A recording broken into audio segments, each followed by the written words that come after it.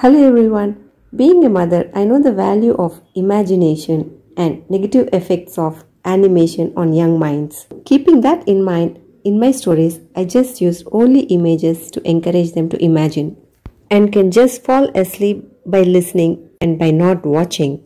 And I love to read stories to kids and I hope they enjoy story with me. And today's story with me is The Dog and the Hare. A dog and a hare happened to be very close friends. The hare was simple in nature while the dog was clever.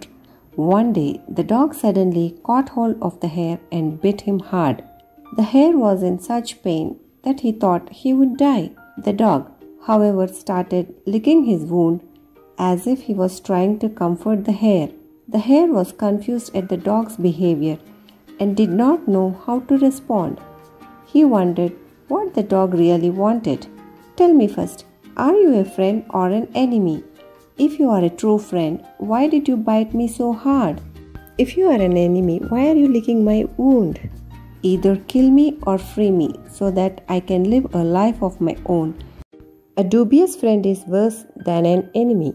Thanks for listening the story with me. To listen more stories with me, please like, share and subscribe to my channel. And don't forget to hit the bell icon to be notified for my every new upload. Till we meet with my next story, until then, bye bye.